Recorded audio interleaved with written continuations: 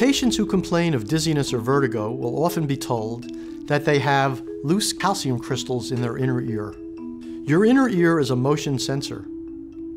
And the way that your inner ear works is there are little hairs that float in fluid.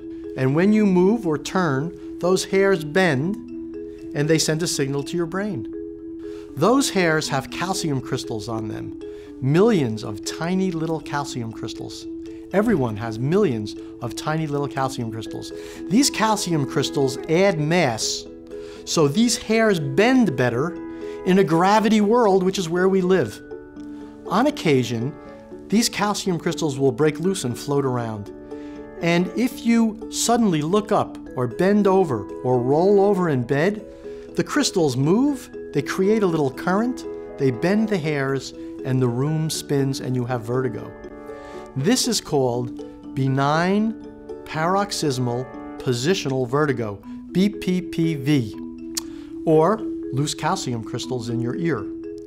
Benign paroxysmal positional vertigo is the most common cause of dizziness in otherwise healthy adults. And it usually begins when you get up in the morning and you're in bed because, kind of without thinking, you roll over or you sit up, and all of a sudden, everything spins.